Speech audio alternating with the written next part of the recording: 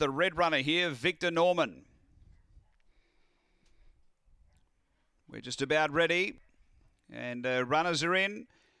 Set to go, light on, race five at Murray Bridge. We're ready. Set. Racing.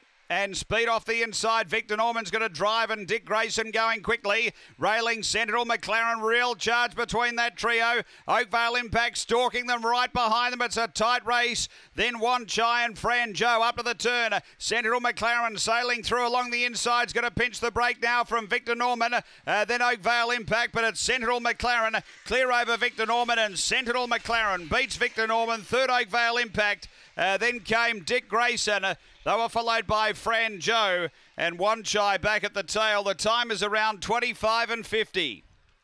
After the running of race number five, and uh, too good here.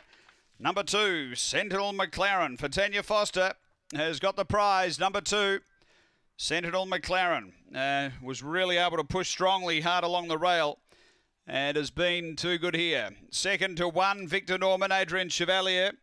And uh, third to five, Oakvale Impact for Nathan Wilson. Numbers are 2 1 5.